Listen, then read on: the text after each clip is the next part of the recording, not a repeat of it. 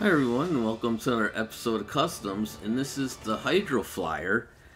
And uh, so yeah, I built this a long time ago, and this was for a character for agents, and I just just decided to keep it as just a thing I built. And um, so I looked up Hydro Flyer, and there is actually like a surfboard motorized thing that looks like that uh, and uh, so I didn't use that name with the Y, and I used an I. And I looked up uh, Hydroglider, and there is a Hydroglider from the 1930s, and so I did. I decided not to call it that.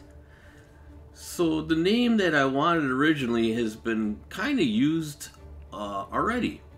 So this thing looks like something from the 50s uh, sci-fi movies. And, um, yeah.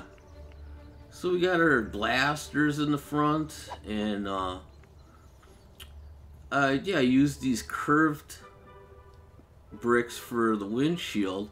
And they, when, you know, looking out of them, it doesn't look very good because of the, uh, the narrowness of it, but,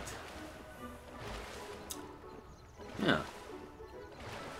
Uh, it took this all of the save space from uh, wing end to wing end exactly. Uh, so it is very wide.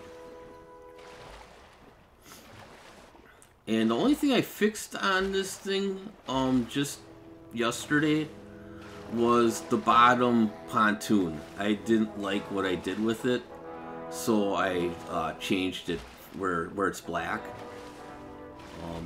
I just I just I just did it different. So but other than that, it's the original way from uh, almost five years ago. Let's get up here. And we can go in it. I did not put a ladder here.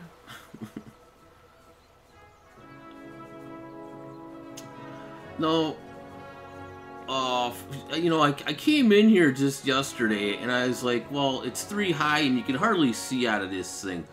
Well, you have to have this exactly five high to uh, fit in here. So if I put a board here, or, or I mean one plate more right here, I would not be able to fit under this.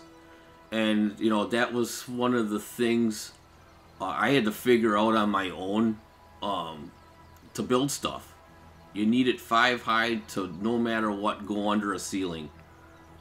Uh, one plate high, I think you, you can't get under it. So, yeah. See the yeah, like I said, it's the the one the one plate bricks is not the best to see out of. Um, but it does look very good from uh, you know from outside. Can you get up there? There we go. And so I decided to actually cut the bottom off. And uh, so that's what that looks like. We got that in the air. And uh, we got one in the air.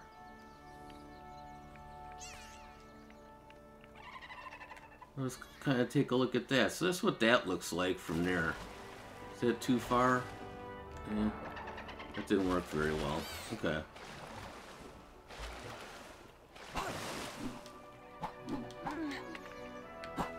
About this?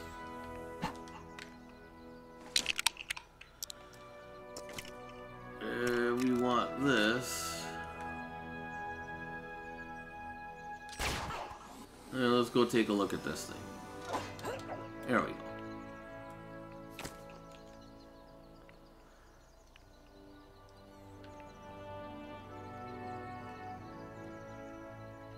So, yeah, now we're now we're flying. and going nowhere. That is uh, the Hydroflier. Um, leave a comment, hit the like button, and subscribe. And thanks for watching. Bye, everyone.